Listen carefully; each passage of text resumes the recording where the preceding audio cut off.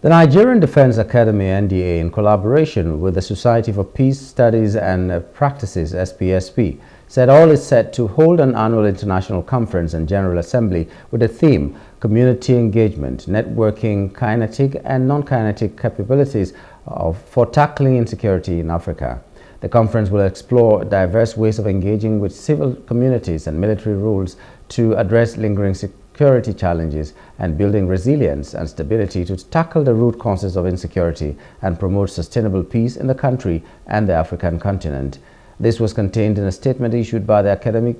Academy Public Relations Officer, Major Mohammed Maidawa,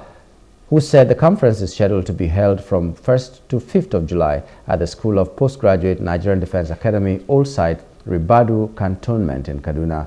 The special guest of honor to grace the occasion uh, Executive Governor of Kaduna State, Malam Uba Sani, Governor of Borno State, Professor Babagana Umara Zulum, and Chief of Defense Staff, General C.G. Musa.